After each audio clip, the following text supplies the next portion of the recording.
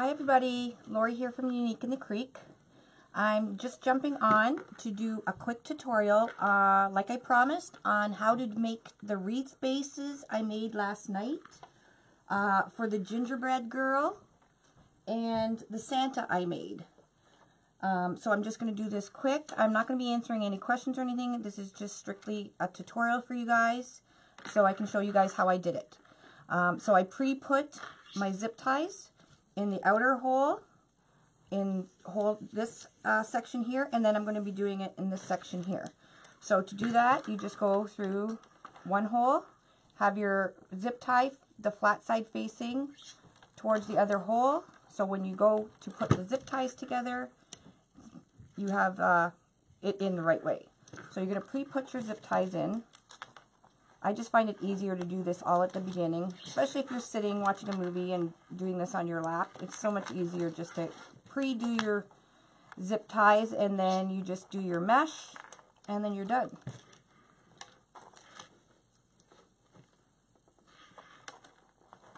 Bird. Okay, a couple more. Now you can do this same technique on the large flower board obviously it will take more mesh and be a little larger. Um, I do believe I have shown it on, what did I make that had this?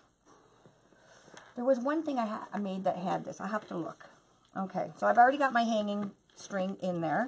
So I have a whole bunch of zip ties already preloaded, all ready to go. So you're going to take your roll of 10 inch mesh. Um, I, I wouldn't use 21 inch.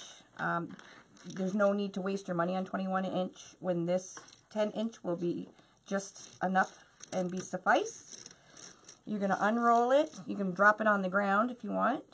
And you're going to fold it over to, I'm going to be making 9 inch poofs, so just guess about 9 inches. And you're just going to scrunch it so that the tail end of that is in your scrunch there and you kind of have a poof. And you can pretty much start wherever you want. Um, I'll just start at the bottom. Now you want your poof that you just made, you want it facing outwards. So you can just put it right down in the middle of the two holes here. Okay. Now, may, at the beginning, it may get a little confusing with all the zip ties, but you'll get the gist of it as you're going. Okay it tight. Now I use, like I said, I use 9 inch poofs. You can use however big you want. If you want it smaller, then you obviously would use probably about 7 inches. But I find 9 is pretty good. So I'm just going to, I have my 9 inch piece of cardboard. And I, that's how I just measure my poops. Now I'm going to go from this hole, I'm going to go down to the hole on the second row right here diagonal from it. Okay, and where I had it scrunched in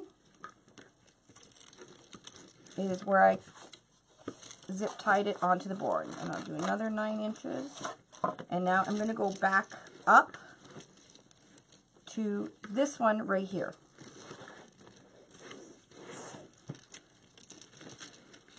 zip ties like to catch on the mesh, so you may want to not preload them. It's totally up to you. Once you get the hang of it, though, you kind of figure out how to not get the mesh caught into the zip ties. Now, you don't have to have it perfect. You can guesstimate, guesstimate 9 inches if you want.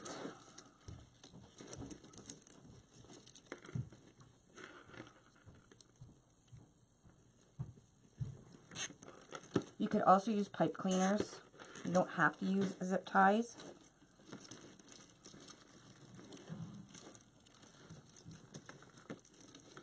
Then I'm going to go back about 9 inches and go back and get this one. So you're just going up and down, up and down. So you can do this on your lap And then I'm going back down to this middle one here. So you're just crisscrossing over.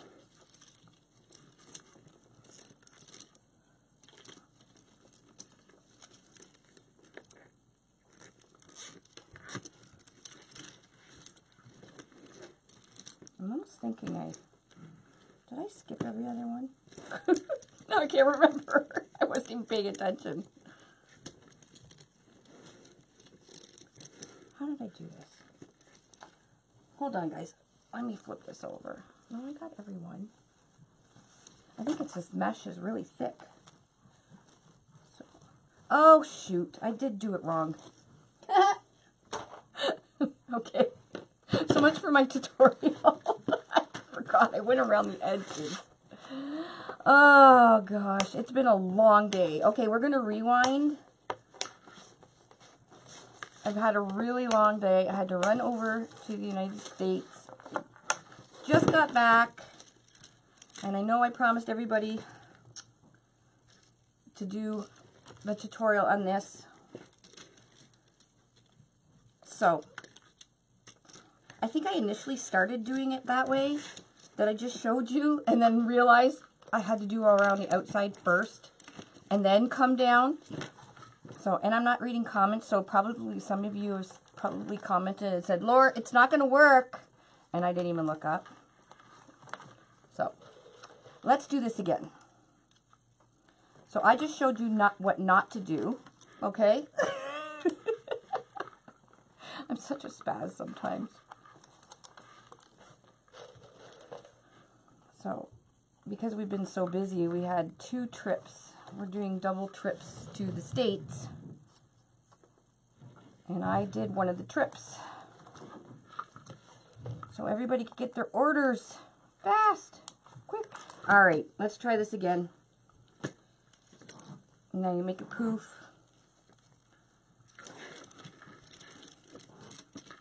And I know if Mrs. Monkey's on here, she's probably like, mm-hmm.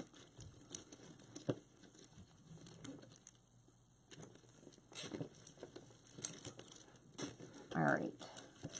Now you're going to go 9 inches. Probably even do smaller if you wanted. And just bring it up and go down this to the next. There we go. That's better. And then once you go all the way around, then you come down into this one.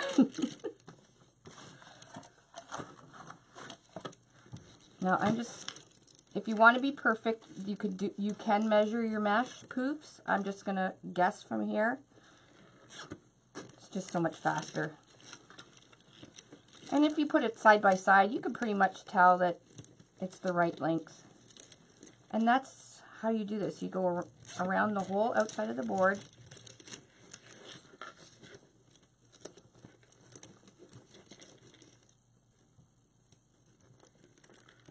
And you can use pipe cleaners if you want.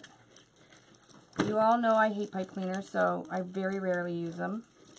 I love my zip ties. I'd rather pull a zip tie than twist. And then um, when I do ribbons, I just put the ribbons on top of the zip ties. Zip ties are like pennies each. So very inexpensive. So to use two zip ties, I have no problem with.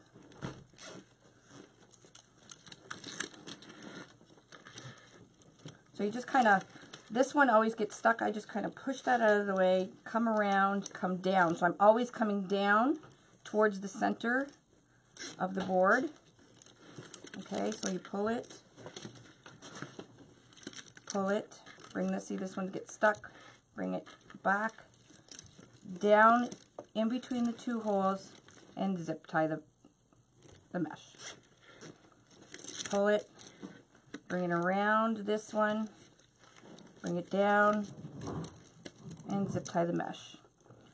So as you can see, it's pretty simple, and that's why I was doing it when I was watching a movie. I don't even think I looked down. I just kept grabbing the zip ties, and it's pretty easy.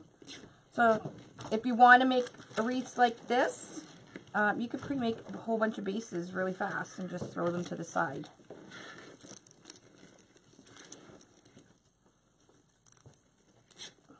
And that's what I did with the Santa. I had pre-made the Santa and the gingerbread girl base. And then when I was ready to decorate it, all I had to do was start cutting ribbons.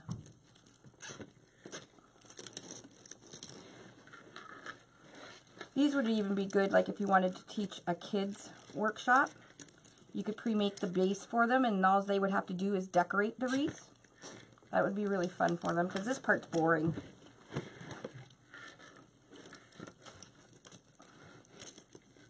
All right, one more, one more poof.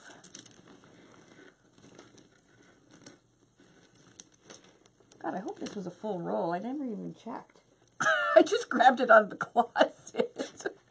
it didn't have plastic on it, so more than likely it wasn't even a full roll. I'm just a spaz today. So now, I'm going to take the 9 inches and I'm just going to come down. We're going to do this circumference right here. So right here, there's 8 of them. I'm going to come down with this one, but I'm going to zip it in over here. So I hope you guys can see this. This is sliding around on me. When I do it on my lap, it's much easier than doing it on the table. So you pull your 9 inch poof, scrunch it, and again, zip tie it right in. Now you could, after you cut, do your first row, you can go around and cut your zip ties. Um, I cut them all at the end. It was just easier for me. Okay, so you just keep going around. So these will have eight poofs in this section, and then this section will have another eight poofs if you want to do that section.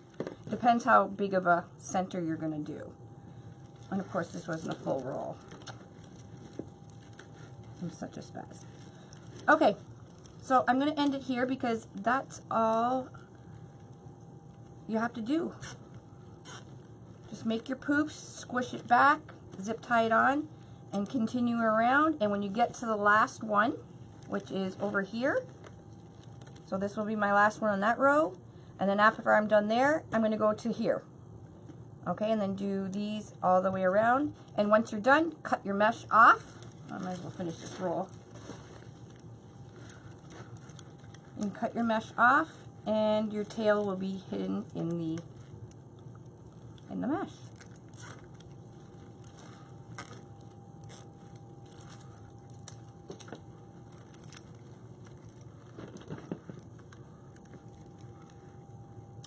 And that's what you that's all you have to do and you can do that on the big board as well. And then when you're done, you can go around and snip off all your tails. And then open your poops. So you won't see any of your board. So once this is all filled in, it's kind of squished in there.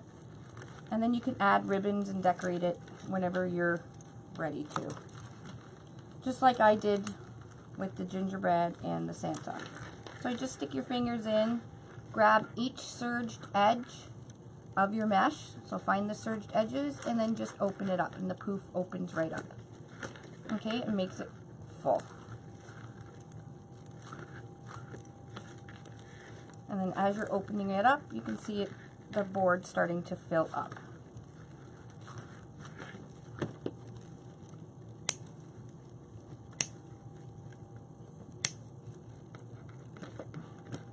And that's it.